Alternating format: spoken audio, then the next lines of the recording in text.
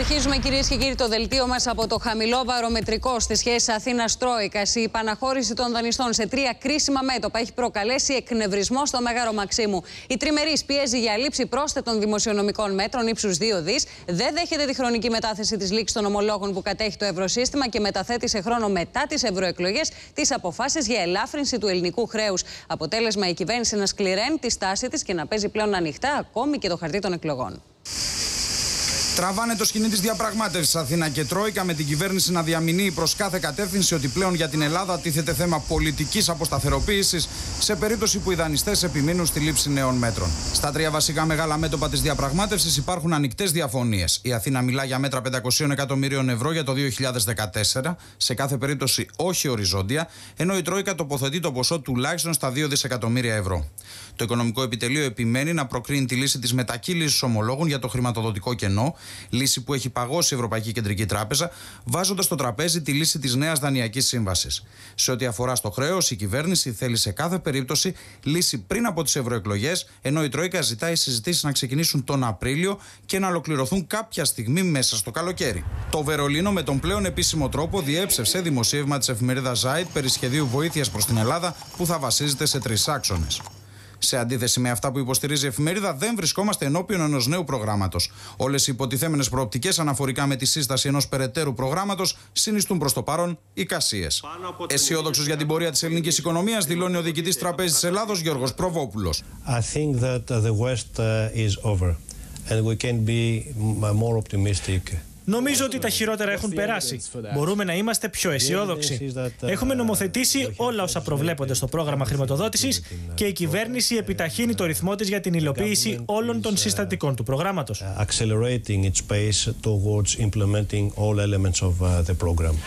Ενδεικτικό του κλίματος που επικρατεί στις σχέσεις με την Τρόικα είναι και το γεγονός ότι μπήκε στον πάγο η προγραμματισμένη για σήμερα τηλεδιάσκεψη του Γιάννη Τουρνάρα με τους εκπροσώπους της Τρόικας για τις αμυντικές βιομηχανίες, καθώς οι δανειστές ζητούν λουκέτο τουλάχιστον τον ΕΑΣ, προκρίνοντας το μοντέλο της ΕΡΤ. Ενώ η Αθήνα επιμένει στην αναδιάρθρωση εν λειτουργία, κάτι το οποίο επαναβεβαιώθηκε στη συνάντηση που είχε ο Υπουργός Οικονομικών με την αναπληρώτρια Υπουργό Εθνικής Άμυνας, Φόφη Γεννηματά. Πρέπει και εκείνοι να καταλάβουν ότι είμαστε στα όρια μας, δεν υπάρχει περίπτωση, ούτε μπορεί να αντέξει ο ελληνικός λαός άλλα μέτρα, ήδη αυτά τα οποία έχει δεν, ε, δεν μπορεί να, να ανταπεξέλθει.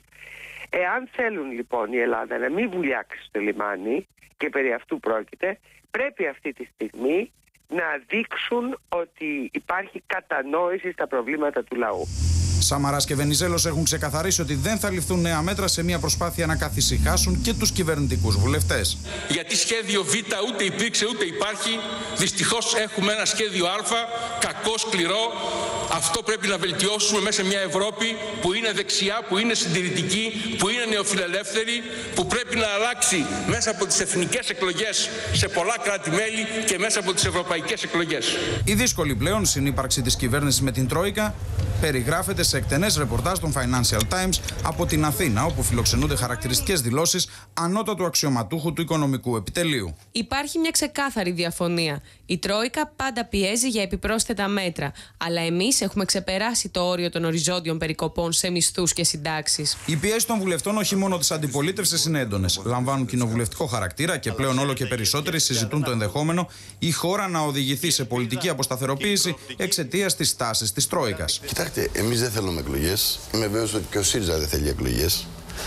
Ε, η διαπραγμάτευση. Να ρωτήσουμε, ο ΣΥΡΙΖΑ θέλει εκλογέ, κυρία Δούρου. Ασφα, ασφα, λέω επί της ουσίας. Να κάθε, τελειώσει, η κάθε, γιατί έχει ανοίξει μια βεντάλια τεράστια και να τα πούμε. Θέλει εκλογές δύο μήνες μετά τις προηγούμενες εκλογές. Ναι. Αλλά ε, τα θέματα είναι ε, συγκεκριμένα συζήτηση θα γίνει. Εμείς πρέπει να δούμε πώς μπορούμε να επιβιώσουμε τα επόμενο διάστημα. Μάλιστα. Και εκεί θα είναι διαπραγματεύσει και με τον εαυτό μας και με τα άλλα κόμματα και με την Τρόικα βεβαίως και τις εταίρε μας ευρωπαϊκές που μας δανείζουν. Μέχρι και πριν λίγες ώρες, όποιος ζητούσε εκλογές ήταν επικίνδυνος.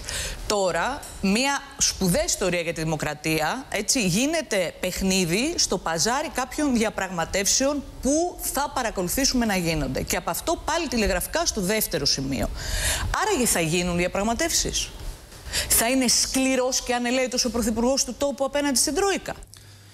Τη γνωστή ταινία Το ποντίκι που βρυχάτε θυμίζουν οι λιονταρισμοί της μνημονιακής συγκυβέρνησης ότι δήθεν θα συγκρουστεί με την Τρόικα που απαιτεί νέα μέτρα κατά του φτωχοποιημένου ελληνικού λαού. Ο λαός δεν πρέπει σε καμία περίπτωση να εναποθέσει τη ζωή και τις ελπίδες του στην έκβαση των όποιων διαπραγματεύσεων μέσα στις λικοσυμμαχίε της Ευρωπαϊκής Ένωσης και του Διεθνούς Νομισματικού Ταμείου, όπως του ζητούν η κυβέρνηση, η αξιωματική αντιπολίτευση και τα άλλα κόμματα του Ευρωμονόδρομου. Η κυβέρνηση οφείλει να προχωρήσει σε μια ισχυρή και αποφασιστική διαπραγμάτευση με τους δανειστές εταίρους για τη διεκδίκηση αλλαγών και τροποποιήσεων του ίδιου του προγράμματος προσαρμογής. Πάμε στο Γιάννη Τζούνο. Γιάννη, οι διαφωνίες των δανειστών σε τρία κρίσιμα σημεία για την εξέλιξη των πραγμάτων στην ελληνική οικονομία έχουν προκαλέσει δυσφορία στο Μέγαρο Μαξίμου και πολύ μεγάλο εκνευρισμό. Είναι βαρύ το κλίμα λοιπόν.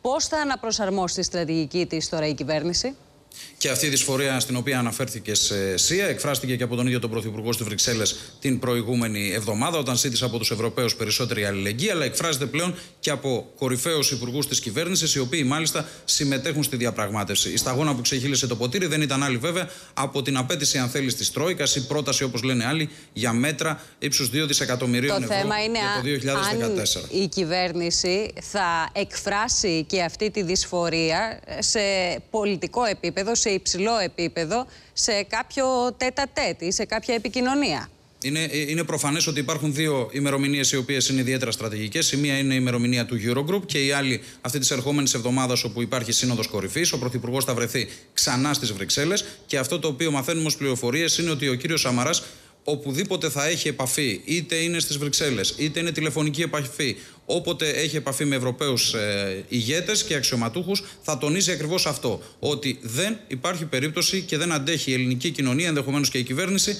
τη λήψη νέων μέτρων. Και έχει επιχειρήματα σία ο Πρωθυπουργός για αυτό ε, το οποίο θα αναφέρει προς τους ε, Ευρωπαίους εταίρους. Καταρχήν το γεγονός της κοινωνικής αποσταθεροποίησης, το έχει πει ο κ. Σαμαράς, εάν ληφθούν νέα μέτρα, η οποία με τη σειρά της μπορεί να οδηγήσει σε πολιτική αποσταθεροποίηση. Δηλαδή, εδώ βλέπουμε. Δηλαδή, εκλογές. Ρίχνουν το χαρτί των εκλογών. κυβέρνηση το χαρτί των εκλογών. Το δεύτερο είναι η παραδοχή από όλους τους Ευρωπαίους σχεδόν αξιωματούχους, αλλά και από το Διεθνές Νομισματικό Ταμείο, ότι η Ελλάδα έχει καλύψει ένα πάρα πολύ μεγάλο κομμάτι του δρόμου. Άρα θα πρέπει και οι Ευρωπαίοι να κάνουν και την δική τους ε, υποχρέωση. Στο ίδιο μήκος κύματος και ο κύριος Τουρνάρας και ο αντιπρόεδρος της κυβέρνησης, βέβαια. Σας ευχαριστώ πολύ, Γιάννη, και θα συνδεθούμε τώρα, κυρίες και κύριοι, με τη Γερμανία, με την ελληνική υπηρεσία της Deutsche Welle και το Σταμάτη Ασημένιο, γιατί σε όλες αυτές τις σημαντικές εξελίξεις έχουμε έναν μεγάλο απόντα. Αυτός είναι η Γερμανία, ε, καθώς παραμένει ακέφαλη, δεν υπάρχει κυβέρνηση. Έχουμε όμως σημαντικές εξελίξεις, μας αφορούν. Φαίνεται ότι υπάρχει συμφωνία καταρχήν ανάμεσα στους χριστιανοδημοκράτες και τους σοσιαλδημοκράτες για το σχηματισμό κυβέρνησης.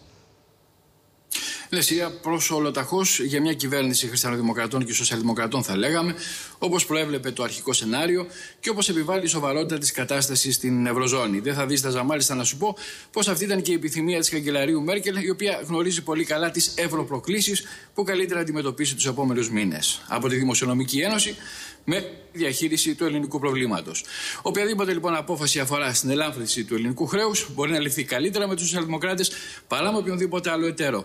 Και για την Ελλάδα η σύνθεση της επόμενης γερμανικής κυβέρνησης έχει ιδιαίτερο ενδιαφέρον με δεδομένη τη θέση των σοσιαλδημοκρατών υπέρ της έκδοσης των ευρωομολόγων. Όμως, όπως είπες, ακόμη δεν υπάρχει κυβερνητική συμφωνία, υπάρχει απόφαση για έναρξη προγραμματικών ε, διαπραγματεύσεων, πιθανότατα την ερχόμενη Τετάρτη και αφού προηγουμένως οι ηγεσίες των κομμάτων πάρουν τα OK από τα αρμόδια όργανα. Πιο εύκολα οι χριστιανοδημοκράτες, πιο δύσκολα οι σοσιαλδημοκράτες.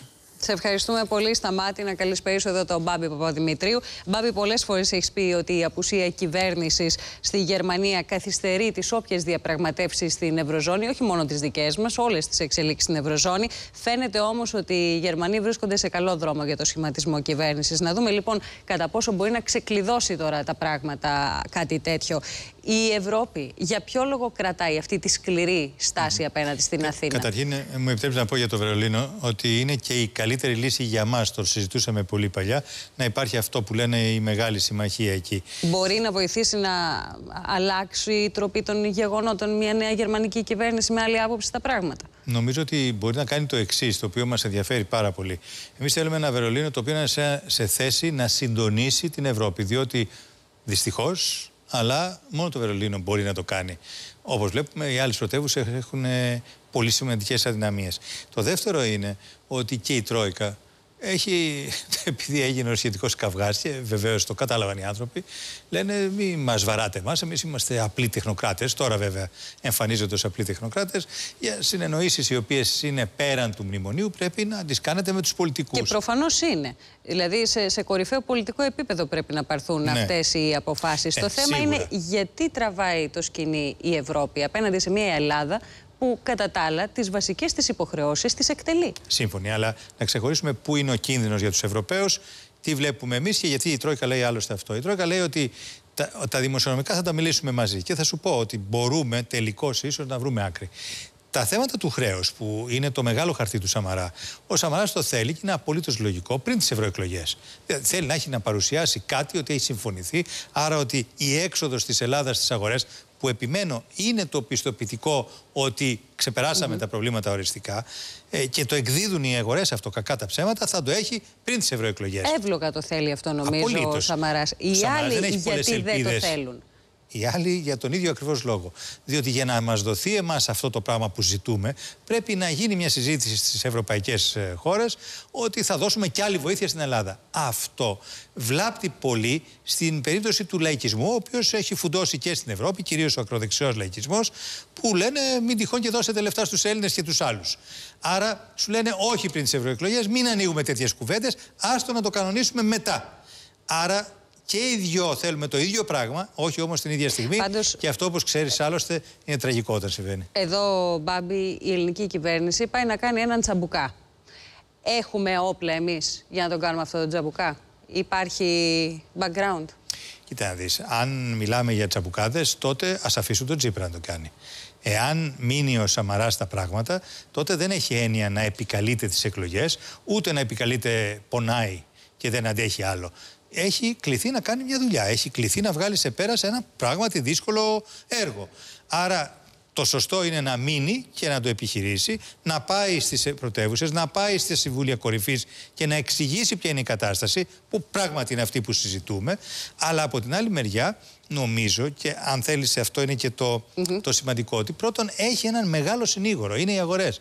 Έχουν τρελαθεί. Ξαφνικά έχουν πάρει φωτιά και νομίζουν ότι η Ελλάδα ελπίζω μεταξύ μας, ότι τα επόμενα χρόνια θα είναι ένα πολύ καλό story ανάπτυξης. Άρα έχει συνήγορο και ισχυρό, γιατί αυτοί ξέρουν πώς θα τα πούνε στις κυβερνήσεις τους. Και το δεύτερο είναι ότι έχει και το ΣΥΡΙΖΑ μαζί του. Διότι και ο ΣΥΡΙΖΑ σε τελευταία ανάλυση το ίδιο πράγμα ζητάει. Μια οριστική ρύθμιση για το χρέος. Έχει ατού ο Σαμαράς. Και ίσως το τελευταίο του ατού, το οποίο δεν το έχουμε μάθει ακόμη, είναι ότι και αυτά ακόμη τα δύο δις ίσως και 2,5 δις να μπορούν να βρεθούν με μέτρα διαρθρωτικού χαρακτήρα. Όχι σώνει και καλά κόβω μισθούς, κόβω συντάξεις, το οποίο οπωσδήποτε όλοι το έχουν αποκλείσει. Έχει μεγάλη συνέχεια η συζήτηση. Μπάμπη, σε ευχαριστούμε πολύ. Να έρθουμε